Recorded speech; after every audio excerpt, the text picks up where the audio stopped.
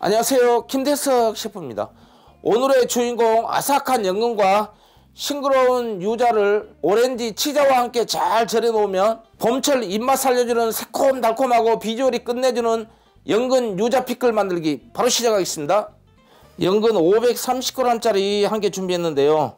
이렇게 길다란 것이 순연근입니다. 순연근이 아삭아삭하고 식감이 좋거든요. 짜리몽땅하고 통통한 것이 암연근입니다 암연근은 쫀득쫀득 해갖고 조림용으로 많이 사용하거든요. 끝에 살짝 잘라주고요. 이쪽도 살짝 잘라줍니다. 필러로 살짝 깎아주세요.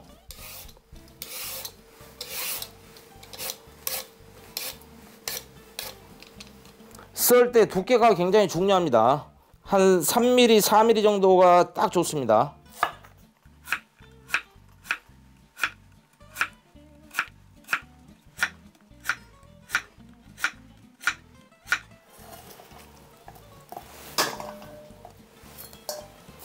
찬물을 받고 전분기를 좀 빼줘야 됩니다. 이렇게 살금살금해서 전분기를 충분히 빼주세요.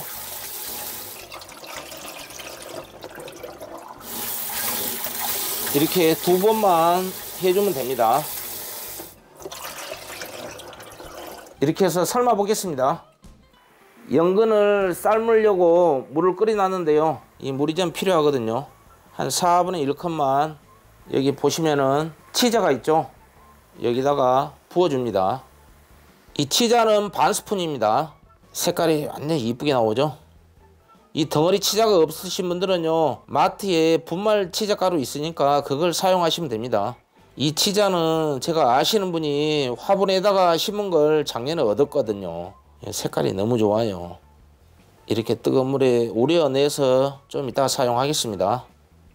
그리고 연근을 삶을 건데요. 여기다가 식초 두 스푼 사용합니다. 식초를 넣는 이유는요. 연근의 아리 맛을 빼줍니다. 그리고 전분기 뺀 연근을 바로 부어줍니다. 이렇게 해서 끓어올라오는 시점부터 시작해서 5분만 삶아주면 됩니다. 그러면 전분기도 완전히 빠지고 아삭아삭한 식감이 끝내줍니다. 5분이 지났습니다. 얼른 찬물에 헹구겠습니다. 채반에 바로 부어줍니다. 이렇게 찬물을 틀고 빨리 식혀줘야 됩니다. 그래야지 식감이 더 아삭아삭하니 훨씬 좋습니다.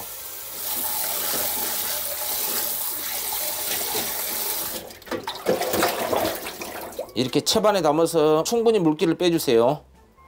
상큼한 오렌지 한 개 준비했습니다. 오렌지가 잘 까지려면은 먼저 이렇게 도마 위에다가 굴러주세요.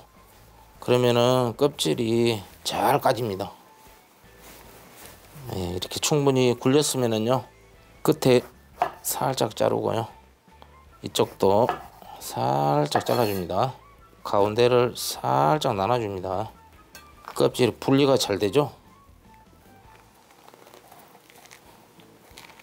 이렇게 잘 자르게 썰어줍니다. 믹서기에 갈아야 되기 때문에요. 유자청 반컵 사용합니다 그 다음에 치자 불리는 거요. 바로 부어줍니다. 한번 치에다가 걸러서 해줘야 됩니다. 그리고 생수 200ml 한 컵요.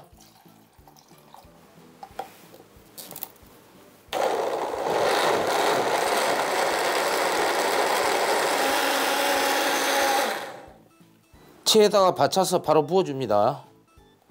야따 색깔이 너무 좋네요 조금씩 부어 갖고 이렇게 쭉 체에다가 걸러주면 됩니다. 그리고 나머지 다 부어줍니다. 유자의 싱그러움 오렌지의 상큼함 두 가지 조합은 최고 아닙니까? 이렇게 충분히 저어서 꾹꾹 눌러주세요. 식초 3분의 1컵 천일염 2스푼 생수 한 컵 200ml입니다. 소주 반컵 소주가 들어가면 방부 효과를 줍니다. 이렇게 해서 잘 저어주면 유자 피클 절임물은 완성이 되는 겁니다. 색깔도 좋죠. 노랗고 그냥 이것을 제가 한 6년 전에 성남 가면은 맛집이 있어요. 거기서 많이 봤거든요. 그래서 그걸 그대로 재현하는 겁니다. 옛날 식당 할 때 이걸 만들어 보려고 시도는 해봤는데 그때 한번 실패한 경험이 있거든요.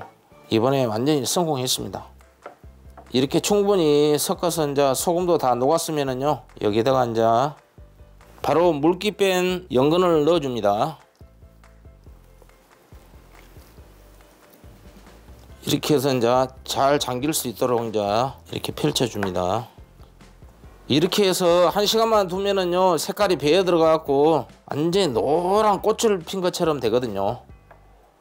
드디어 연근 유자 피클이 완성되었습니다. 아삭하고 상큼해서 치킨, 피자, 고기에도 잘 어울리고 밥 반찬으로 먹어도 고급스럽고 맛이 기가 막힐 겁니다. 꼭 한번 만들어 보세요.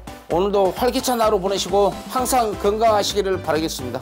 지금까지 김대석 셰프였습니다.